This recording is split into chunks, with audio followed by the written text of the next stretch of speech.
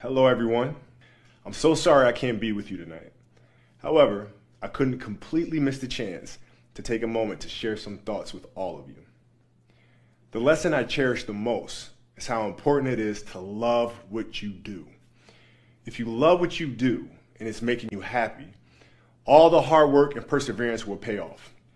I once had a guidance counselor tell me that I shouldn't play basketball, uh, that it would never amount to anything for me. His negativity towards me made me stronger. You can't stop people from trying to limit your dreams, but you can stop it from becoming a reality. Your dreams are up to you. I encourage you to always be curious, always seek out things you love, and always work hard once you find it.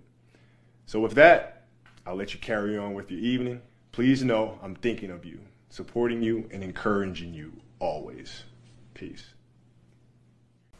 What's up, everybody? This is DJ Miss Jetson, and you guys know what it is. You're here with the Red Kool Aid Podcast, but let's get to this right quick. Uh, first of all, I'm here to pay my respects in the first half of this video to Kobe Bryant. Rest in peace to him and his beautiful daughter Gigi.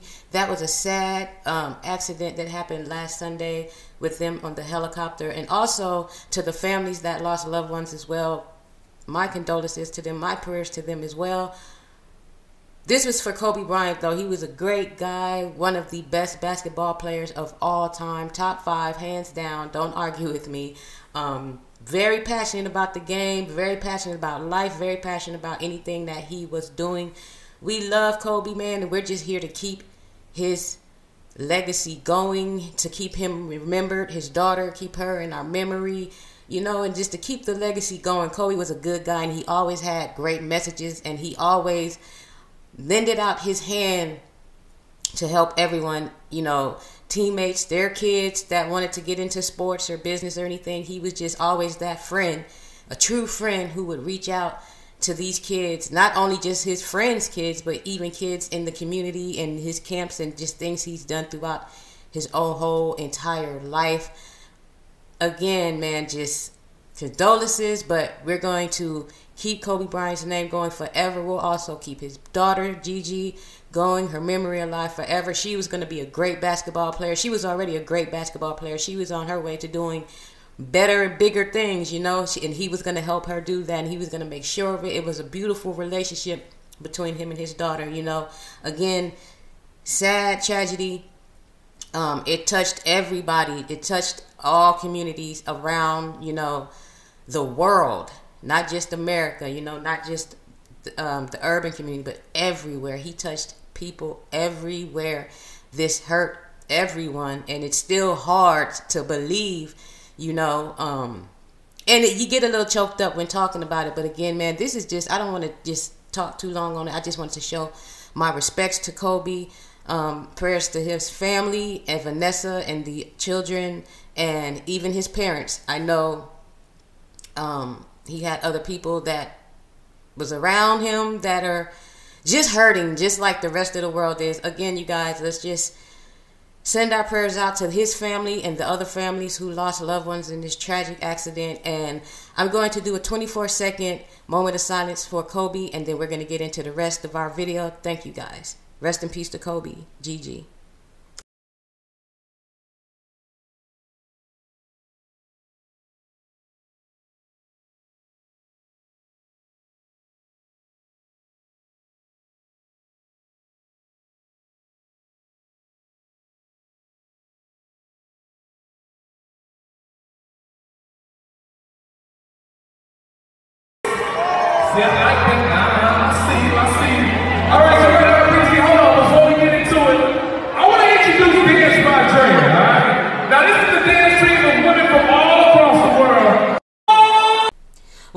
It's DJ Miss Jetson, and you're here with the Red Kool Aid Podcast YouTube. I appreciate you guys for tuning in.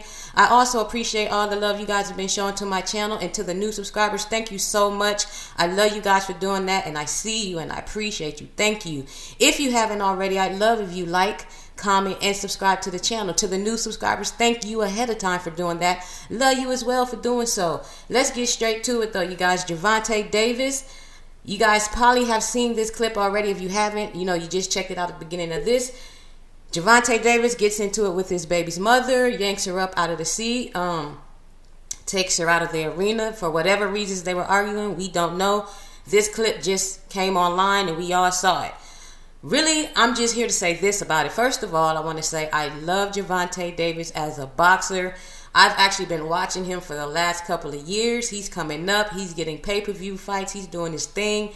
And I really like the kid. That is my whole point. My whole point is I like him. So when I saw this, I just kind of was like, no, I don't want to see this happen. Not Javante. I don't want to see him go down the road of, a, and I hate to say this guy's name, um, Adrien Broner, who I liked in the beginning of his career, but we started seeing him go down a certain path and just kind of mess up his career.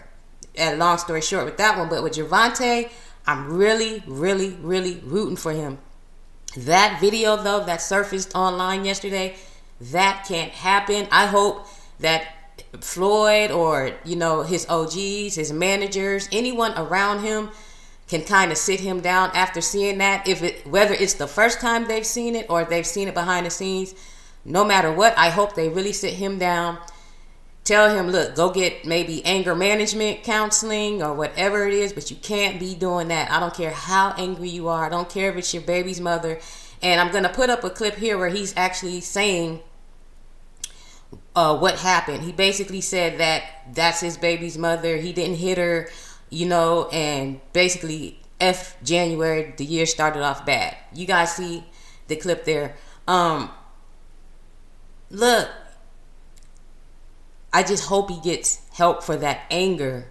Can't be doing that. He cannot be doing that. I do not want to see him ruin his career over not being able to control his anger because we've seen him get angry in other um, videos that have surfaced on the internet before at people maybe taking pictures or invading his space. And you know, we're just like, well, you're invading this space and we can understand that, but hopefully people can get him to calm down, you know. But this one yesterday, that we can't see, that we can't have. And when I say we, I'm just talking in general, like we don't want to see you. I'm a fan. it's all I'm saying is I'm a fan. I don't want to see him getting in trouble and, and, and throwing his career away over just not being able to handle his anger. Now, we all make mistakes, so we're not burying him for this. You know, just hopefully he gets the help and his OGs or whatever, managers, whoever, will sit him down, talk to him, tell him he can't be doing that, you know, and he starts to find another way to handle that type of situation. That's really all I'm going to say on the Gervonta Davis situation. Um, now, you guys know I can't leave the video without talking about Mr. AC, Aaron Carter himself I'm just throwing this in there because it's funny to me. what he's doing at this point is whatever. I just sit back. I tune in from time to time at this point because, again, like I said, last video is pretty much more the same stuff with him. Not much has changed. He's kind of, I'm to say, calm down for the moment. But I think one of the things that is really sticking out is he's still I'm gonna use the word begging, and the only reason I'm saying the word begging is because it's like every probably five minutes, it's like hit the cash app, hit the cash app, hit the cash app, and that's the videos I'm gonna show you guys at the end. One thing I want to say about Aaron Carter and his fans, though, I feel like that is like an abusive relationship that they have going on. Him and the LMG. It's just like if these guys aren't donating to him, he and you guys are gonna see this at the end of these clips. Um, he'll turn the camera around, point it to the wall until somebody donates. Like that's that's abuse. Like if you don't do what I want, I'm just gonna put you in this corner. It's like an abused child. an abusive relationship. Like what do you mean I'm just gonna turn this because you guys won't donate? I think that is the funniest thing in the world. That's really all I'm going to say about that. I got a couple of clips for you guys to check out because I know you guys love watching the Aaron Carter saga. so we're gonna check out a few of those clips. Again, I just at this point think it's funny. I don't care what these. He always says, "Hey, they, the haters get mad, and then they donate. His fans will donate and be like, "Ha ha, this is for the haters." Look, it's your money. You're the one who's gonna be trying to count those bills at the end of the month. Like, man, if I wouldn't have gave Aaron Carter that hundred dollars every week for the uh, whole month of January, I might could pay my cable bill and my electricity bill. Look, it is what it is. It's your money. Who cares? I don't really care about that. Now, you wanted a little bit of my advice, which I know you don't, but I'll give it to you quickly. If you want to really donate, donate to some real people who are actually outside and need the help and they don't have a house and cars and you know ways to actually go out and make money. You know, there's people out there to really donate to if your if your pockets is itching. You know what I'm saying? But hey, I would tell someone that I knew, hey, you better get out of that abusive relationship because it's gonna do you bad in the end. But at the end of the day, man, we're about to, I'm not even gonna hold you. We're gonna get into these Aaron Carter clips. They're just some small clips of him pretty much doing what he does, asking for donations and putting his fans in timeout if they don't if they don't uh, donate to him. Uh, it is what it is, though. It's the Red Kool Aid Podcast YouTube. I again appreciate you guys for tuning in. Also, before we go, it is Super Bowl Sunday. So I don't know who you guys going for. We got Kansas City. We got the uh, 49ers, San Francisco for, uh, 49ers going head to head today. So that's going to be a great game today. You know what I'm saying? Drop down in the comments if you get this far into the video who you guys are rooting for. You know, I think I'm going to go ahead and go for Mahomes, though. Kansas City. My Giants are not there, so I'm gonna go ahead and root for Kansas City, see what they do today. So I go. I hope you guys enjoy your Super Bowl Sunday today. Um, and again, rest in peace to Kobe, to those families who have lost loved ones, and to um, his daughter Gigi. You know, rest in peace. But let's get into this these Aaron Carter clips, you guys. Is the Red Kool Aid Podcast. Peace. Look, even if you guys donate a dollar, whatever it is, you're donating to moi. Okay. You want to keep me on YouTube and social medias, then you got to keep it flowing. You got to keep it going. You got to keep it separated.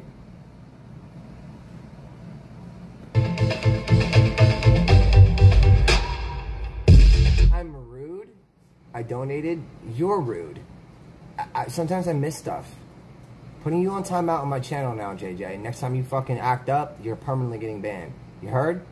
permanent ban. Goodbye. Hasta luego.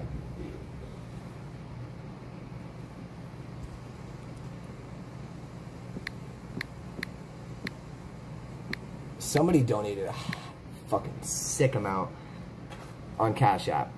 This is a Cash App. This is Cash App Friday. New thing.